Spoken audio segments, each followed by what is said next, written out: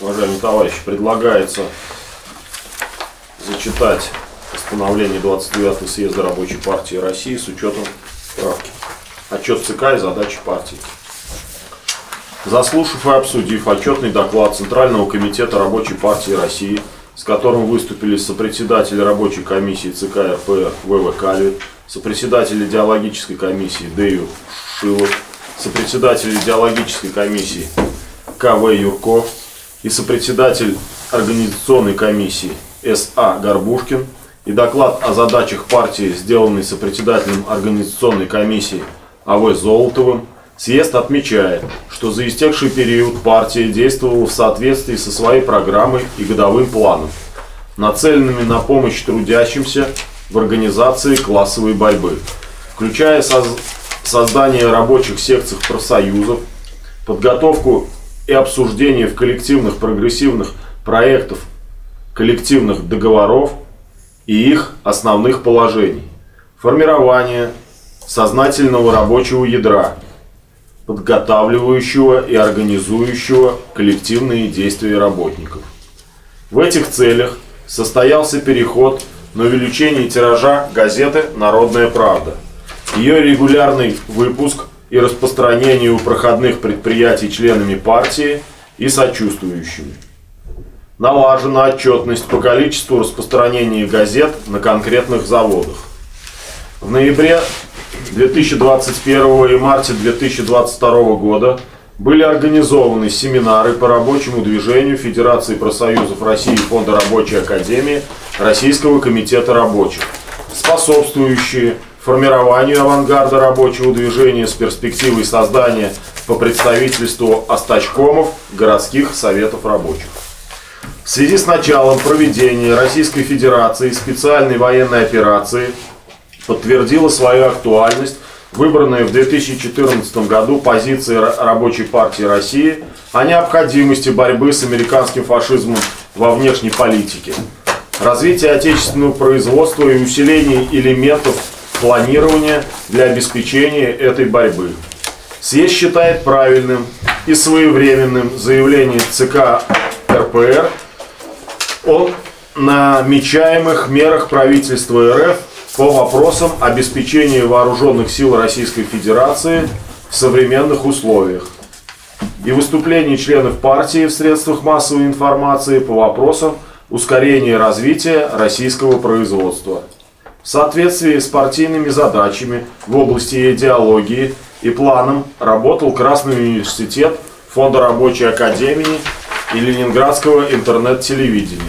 Проводились занятия в университете рабочих корреспондентов, регулярно выходили ролики на канале ФРА, освещающие лекции, семинары, занятия и осуществлялись публичные выступления членов партии. Красное радио ФРА обеспечило круглосуточную трансляцию своих передач.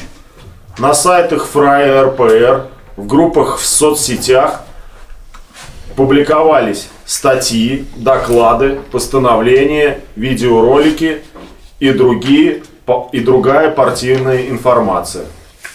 Проведены научно-практические конференции, решение проблем заключения и выполнения прогрессивного коллективного договора и теоретические и практические проблемы создания советов. Продолжается издание собрания сочинений Михаила Васильевича Попова в электронном виде. Съезд отмечает, что активная работа партии в предстоящий период – фактор укрепления обороноспособности страны, мобилизации рабочего класса, трудящихся на борьбу с фашистской агрессией США и их ставленников на Украине против России. В этих целях предстоит увеличить тираж газеты «Народная правда» и ввести персональную ответственность членов партии за ее распространение.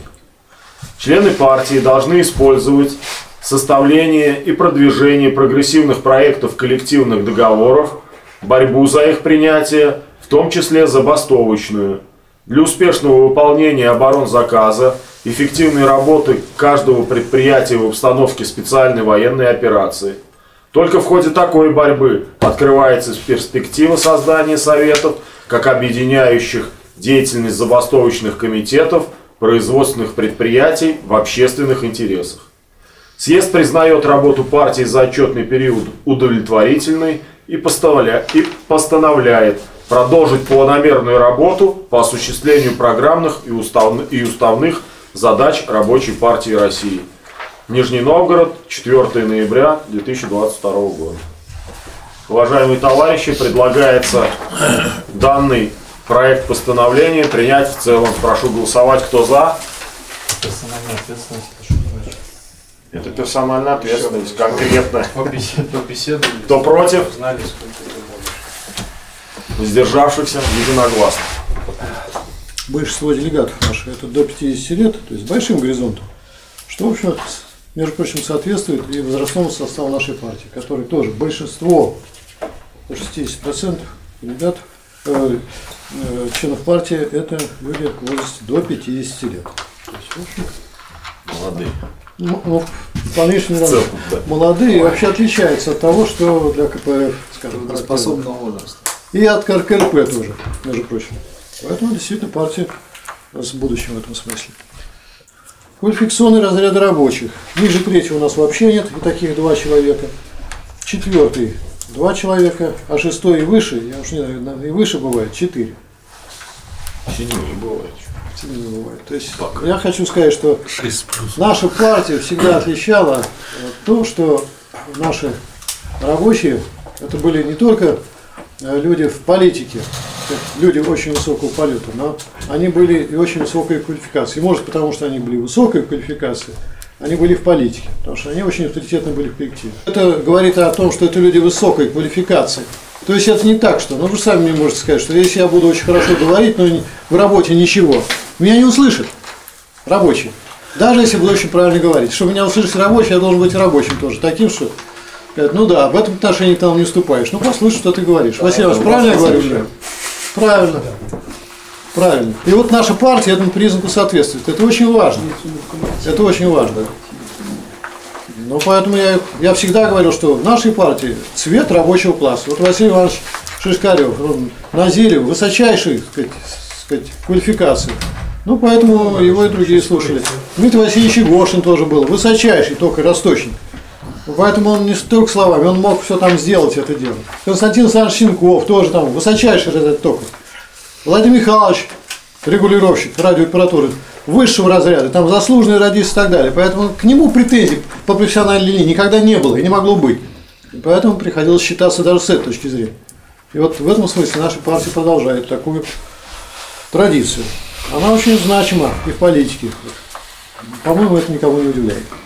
Так, что порадовало? Смотрите, количество рабочих, э, количество делегатов, работающих на производственных предприятиях, численностью рабочих свыше. У нас начинается значит, с разряда 150 и выше. 150 от 151 до 500 рабочих. 6 человек от 501 до 1000. 2 человека и даже свыше 1000 2 человека. То есть мы всегда переживаем о том, что, что наши рабочие должны быть с крупных предприятий.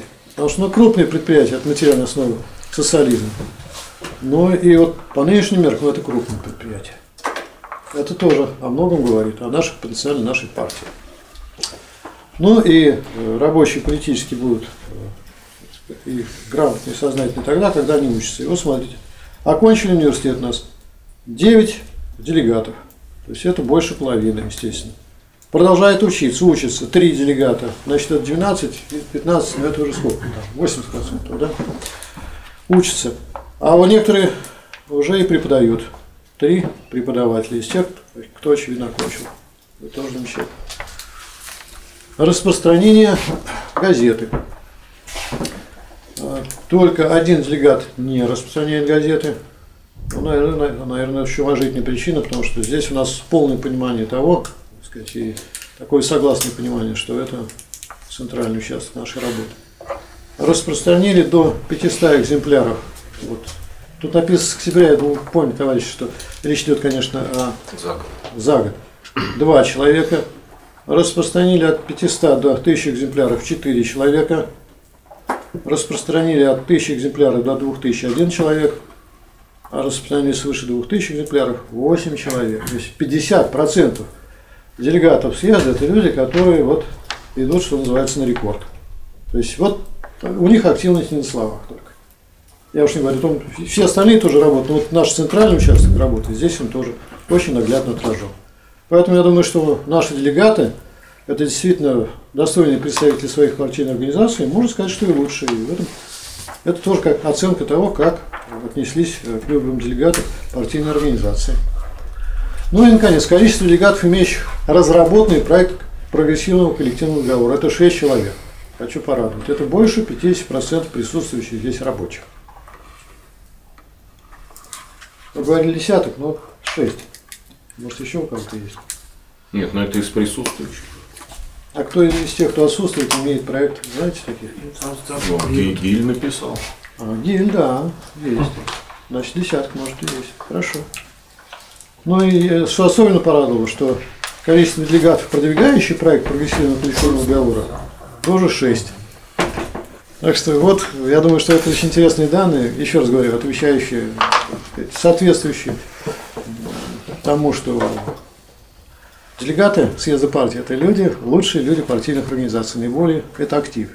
Вот, эти признаки позволяют судить. Ну, еще раз говорю, что надо как положительный факт отметить, что ядро делегатов – это люди с большой перспективой работы и на будущее в том числе. То есть наша партия имеет большое будущее, даже по своему составу. Всё, спасибо. Повестка дня съезда исчерпана, итоги подведены. И по нашей старой доброй традиции мы закрываем съезд исполнением гимна Рабочей партии России. Вставай, проклятием заклеменный, Весь мир голодных и рабов. Кипит наш разум возмущенный, И смертный бой вести готов.